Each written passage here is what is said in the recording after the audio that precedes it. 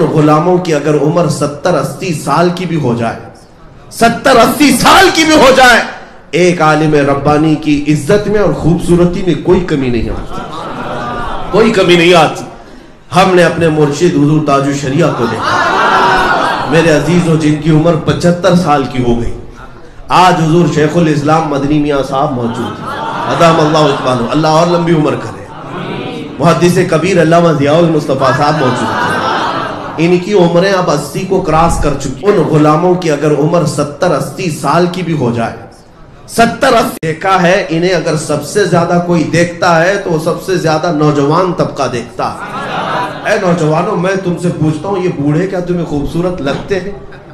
इनके दिलों से पूछो, ये खुद बताएँगे, हज़ारों का हुस्न, एक तरफ़ इस मुर्शिद का हुस्न अपनी तरफ़। इसलिए कि इन्हें जो हुस्न मिला है, वो दुनिया से नहीं, वो हुजूर के कदमों से मिला है।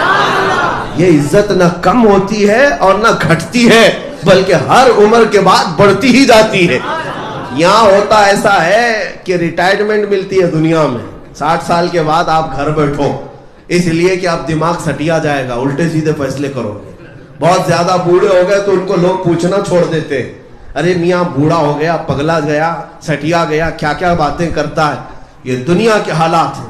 लेकिन मैं दीन की बात बताऊँ हुजूर के गुलामों में जो जितना बूढ़ा होता है, उसी से फैसले कराए जाते जितना बूढ़ा होगा, उतने हमारे अकाबरीन में से होगा। जितनी उम्र वाला होगा, उतने ही ज़्यादा उसके मकाम बढ़ते चले